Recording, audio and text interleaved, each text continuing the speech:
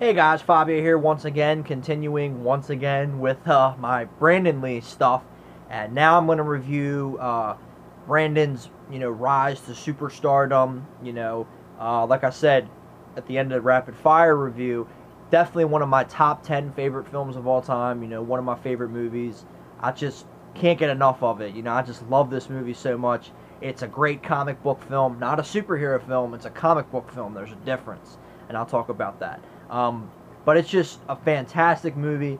If you haven't seen it, please stop what you're doing, stop this review, and just go buy it because it's just such a great movie. I I'm, I know you'll love it. There's no doubt about it. You know, it's just such you know a wonderful film, extremely underrated. I hope it doesn't get remade. I'm hearing about a remake. Sorry, I adjusted the camera real quick.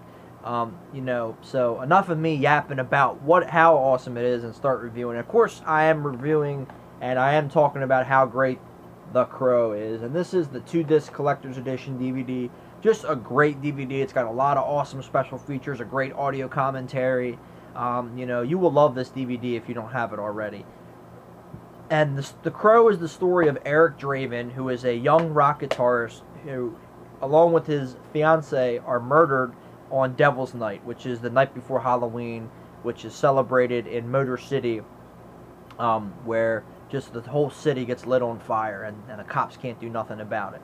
Um, so now, one year after his death, Eric comes back from the dead to avenge the to avenge his and his fiance's death. And that's the plot in a nutshell. I don't really have to say any more. That's basically it. And like I said, this is just such a great movie.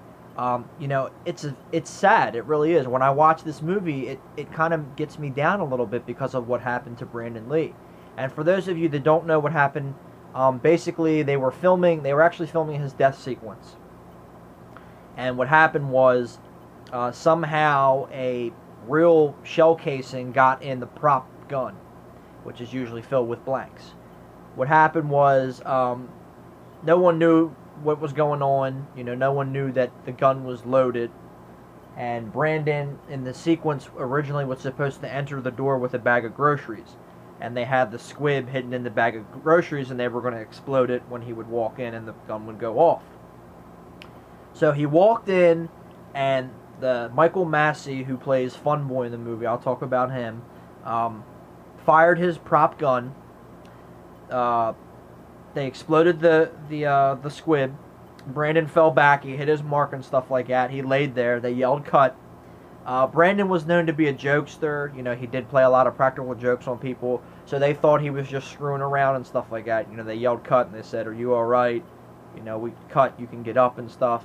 And after a minute or so, they knew something was wrong, so they went over to check and they saw that there was a hole in his shirt, and they lifted his shirt up and they saw that the bullet had gone in.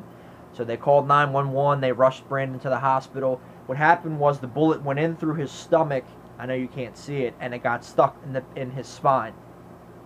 So they tried for like 14 hours or something like that to get the bullet out, and they couldn't. And basically, what happened was Brandon Lee bled to death, and that's what happened. You know, um, no one really ever knows what happened. Uh, no one knows how that you know bullet got in the gun. Um, you know, there's different stories and rumors and stuff like that. I'm not going to reveal my opinion because it's my opinion, and I know people are going to criticize and stuff, so I'll leave that to myself. Um, so basically, the production was shut shut down, and you know they weren't sure what was going to happen. But um, you know, everyone, everybody, I mean, everybody, the cast, the crew, everybody, the distribute, the production company, they said, we got to do this for Brandon. We got to finish this. Luckily, they didn't have much to finish. They, there's only about um, maybe 10, 15 minutes worth of footage in the film that's not Brandon. So that's not bad because the movie's 101 minutes. So it's an hour and 41 minutes. So basically,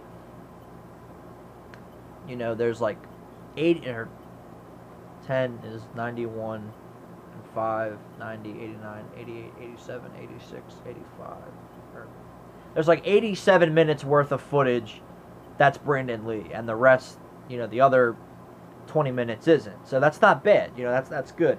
Um, and you can tell what what scenes aren't him because they don't show his face. It's like side side shots and back shots. But there is sequences where they do show his face, and it's not him. They just took CGI and they put his face on the body double and stuff like that. So, you know, and and to be honest with you, when I had heard about that, I was just devastated. And I know I said this earlier in one of my Bruce Lee movie reviews, but it really kind of bothers me. Um, my all my friends are like, "Why?" It's like you didn't even know him. You know that happened when you were you were two when it happened. You know how do I mean? Do you even remember it happening? It's like doesn't matter. It's like Brandon was just about to hit it big time. He was about to step out of his father's shadow because before this, people had known him as Bruce Lee's son. If he had lived and this movie had come out, people would say, "Oh, that's Brandon Lee. He was in The Crow. Oh, he was also in this movie and this movie. Oh, and he's Bruce Lee's son. But look at all these great movies that he was in. You know, that's what would have happened. And you know, he would have become a huge action star. And I'll talk about that in the next video. But it does bother me. It's like someone so young and so incredibly talented and was going to be so successful was just cut down in their prime before their prime. I know stuff like it happens all the time too, but it's just different. I just feel differently about this. But anyway, that's just my opinion. Um, but you know, he's just so great in this movie, and they have like his last on-camera interview on here on the DVD, but it's different because I also have it on VHS, and both the interviews are different. So I have both. I didn't know that when I got the V. I just bought the VHS because I found it on VHS and I wanted it. But when I watched, I'm like, wait a minute, this interview is different. So I hold on to both, you know. Um, but you know, on the commentary track, they were talking about how he was just so incredibly nice.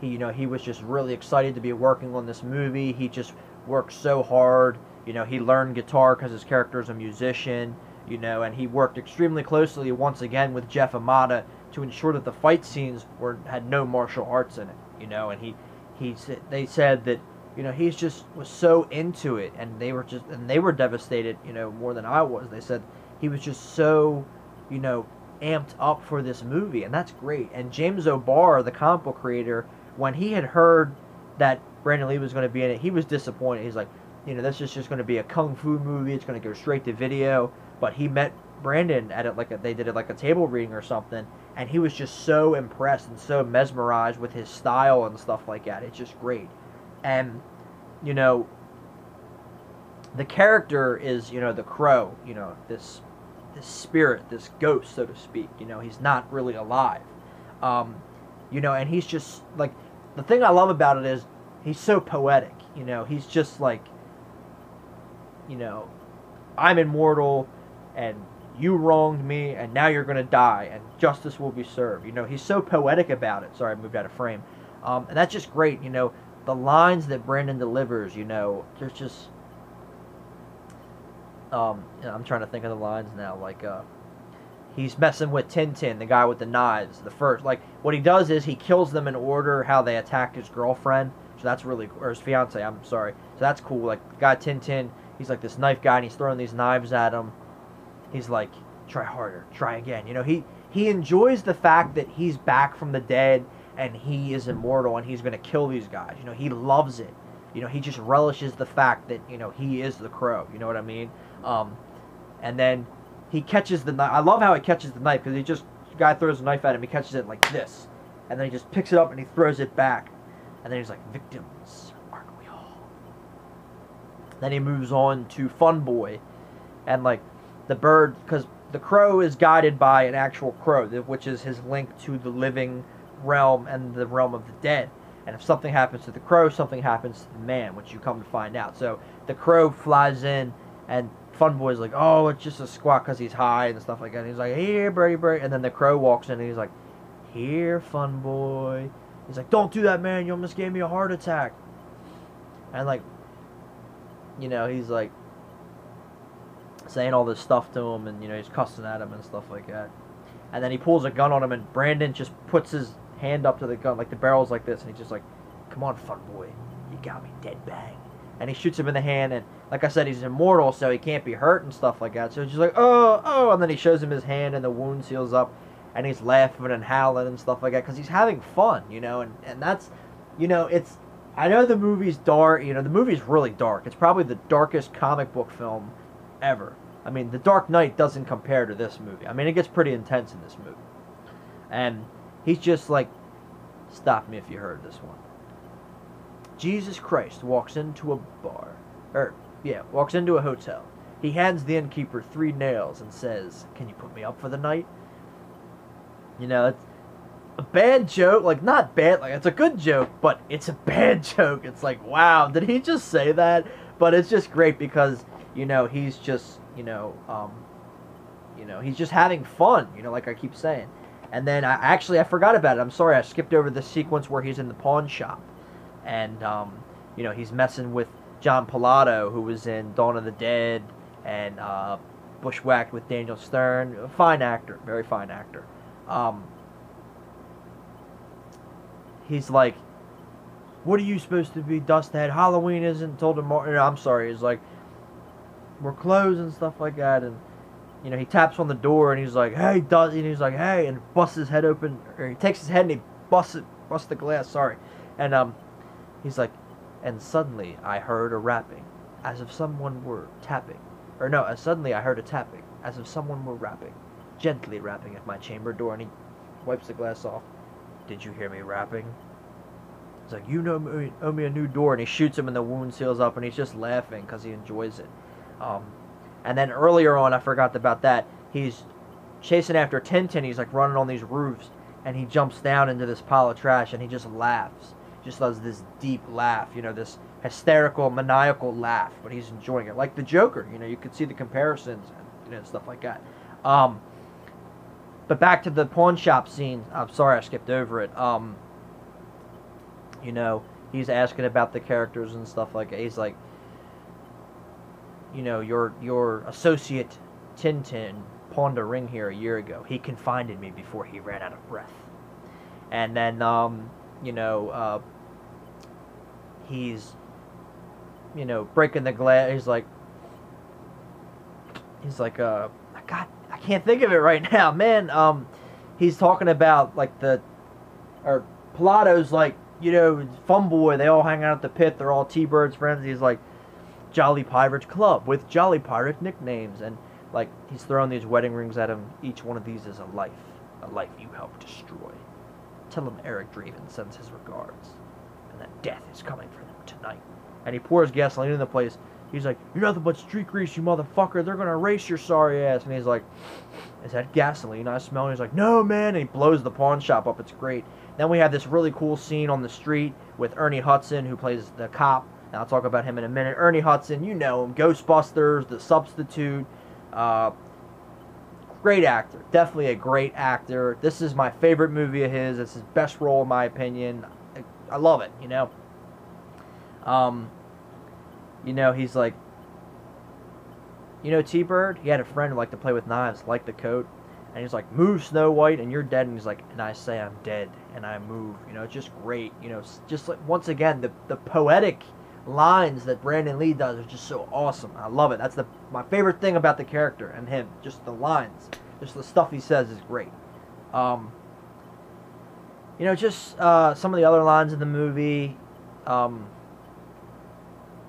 trying to think. Oh, he, the little girl. Well, uh, kind of didn't really prepare for this. Um, a friend, they have a friend in the movie. Him and his fiance, this little girl Sarah and um, her mother is like girlfriend with Fun Boy. And in the sequence with Fun Boy, they're getting high on morphine, and he squeezes the morphine out of her, and he says, "Mother is the name for God on the lips and hearts of all children. Your daughter is on the streets waiting for her, waiting for you. Go to her." You know, he kind of uh, straightens her out, and she's played by Anna Thomson, who was in Bad Boys. She had a small role in True Romance. I like her. She's a good actress. I like her stuff. Oh, she was also in Unforgiven with Clint Eastwood. Forgot about that. But anyway, um, you know, I'm trying to just think of some of the lines here. Um, oh, it's in the boardroom sequence, which I'll talk about in a minute. I see you've made your decision. Let's see you force it. Just come on. Only Brandon Lee can say shit like that. You know what I mean? Stallone, Chuck Norris, Arnold, nobody but Brandon Lee can say shit so cool like that. You know what I mean? It's just great. But um, you know, in terms of the, I, I kind of skipped around a little bit. In terms of the other actors, like I said, Ernie Hudson plays the cop. Albrecht, just great role. You know, tough. You know, street cop. You know, he's just fantastic.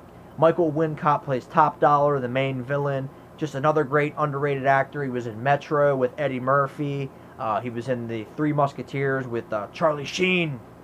He's by winning and Kiefer Sutherland and Chris O'Donnell. I love that movie. I really do. Um, some of the other great actors in it. Uh, David Patrick Kelly plays T-Bird. You know him from Commando and The Warriors and 48 Hours. Another fine actor. Tony Todd, the Candyman, uh, plays Grunge, one of Top Dollar's henchmen. Fine actor. Definitely a great actor. Tony Todd, the man. And Bai Ling, who is she's been in some stuff here and there. Uh, she plays uh, Myca, who is uh, Top Dollar's sister, and she's a really cool character, kind of like soft-spoken and kind of a little eerie, a little creepy, but that's cool. Uh, Rochelle Davis, like I said, she plays the little girl Sarah, who actually she and Brandon Lee became very close friends um, during the filming. And when Brandon had passed, you know, she was very upset, very devastated by it, and she actually retired from acting because of it. You know, kind of a sad story. But anyway, just you know the movie is just chock full of great actors a lot of great underrated character actors um, you know just great they're perfect in these roles and like i said they all wanted to come back to finish the movie you know that's that's fantastic that that says a lot and alex proyas who directed dark city this was like his first big movie so you could definitely see the comparisons in both films and stuff like that because dark city was a good movie i really enjoyed that flick very different very, very good science fiction film. I'm gonna have to get that on DVD eventually. But um, you know, in terms of the action sequences, like I said, uh, Brandon worked really hard to ensure that there was no martial arts in the film. It's all street fighting. Uh, you know, he fights Tintin or T, yeah, Tintin. I'm sorry. And there's just like he's they're fighting with pipes and stuff like that, and it's just a really down and dirty, gritty kind of street fighting style. It was great. Um, some there's a really cool car chase sequence in it. I don't think Brandon Lee is in that scene because you don't see his face. Um, then we have this boardroom shootout where, like I said, he gets up on the table and he's like, "I just want him." He's talking about one of the other. Uh, he's talking about Skank, who's played by Angel David, a really cool actor, another you know one of the henchmen. And Top Dollar's like, "You can't have him," and he's like, "Well." Like once again, it's probably my favorite line in the movie. Is like, "I see you've made your decision." I'll see you enforce it. And they shoot him, and he falls off the table, and they're like, where'd he go? And then he pulls, he starts pulling guys under the table and shooting them. And then he comes up and he starts shooting people, and then he's cutting people up with swords. And he's like, you're all going to die. You know, it's just great. Like I said, once again, no one can deliver lines like that like Brandon Lee. You know, Schwarzenegger, nobody. Just be so calm and cool and collective and be poetic about it, you know, and having fun with it. You know what I mean? And that's that's great. Um, the finale is really cool. The finale is kind of um, is like a metaphoric thing because it's in a church. It's like in this old rundown church, and they're they're having this shootout. Then they fight on top of the church. It's just a great sequence. And like I said, I, I guess what they were going for was like a metaphor kind of thing, you know, to to explain like this is the end of the road. You know, like he's this he's gonna get his revenge, and you know he's gonna you know you know, go away, not die, but you know, go back to where you know to heaven, you know, so to speak, or something like that. But uh, you know, just, just it's just uh, can't talk. It's just such a great movie and such an underrated, and just people need to see this movie more and just see what Brandon Lee was going to accomplish. You know what I mean? It's just it's it's very sad to see that you know what happened happened. But anyway, another thing I love about this movie, the soundtrack, and I do have the soundtrack on my iPod. Just great music. You have uh, "Burn" by The Cure, which they play when he's putting the makeup on. A great sequence, although it's not Brandon Lee, and it just makes perfect sense that they use the song. It's just a great song. Another tune, uh, Golgotha Tenement Blues by a band called Machines of Loving Grace. It's like this grungy type of thing. Well, the whole soundtrack is alternative and metal and just dark music, like music you wouldn't hear on the radio, which is great because the movie's dark and stuff like that. So then Stone Temple Pilots did the song Big Empty, which became a huge hit for them. It's a great song. You know, they use it a couple times in the movie. Um, Nine Inch Nails does a tune called Dead Souls, which I think is a cover. It's a really great scene. They use it early on in the movie when he's running on the. Uh, sorry, I'm just moving my neck. Um, he's running on the rooftops, and then uh, tune called Darkness by Rage Against the Machine. I'm not sure if it's in the actual movie, but it's just a good song. It's an early Rage Against the Machine song. Um, another great song is uh, After the Flesh, which is by a band called My Life with the Thrill Kill Cult. They play it before the big shootout in the boardroom. It's like this techno like metal song. It's cool. I like it. You know, it's got a cool beat. It's like and they play it during the shootout, so it kind of makes sense. Um, another song called uh, Time Baby 3, which is actually uh, like a cover of the, the band song Medicine. They perform it live in the movie. Cool song. I, re- I actually heard this song before I saw the movie. Uh, my dad got like this promo CD of alternative music long time ago, and it was on there, and I, it's like a really mellow, like really cool tune, and I really like it. And then the song on the end credits is called "It Can't Rain All the Time" by Jane Siberry, and it, it upsets me when I hear it. Like I really like when I when I hear that song, I want to cry because it's just so sad.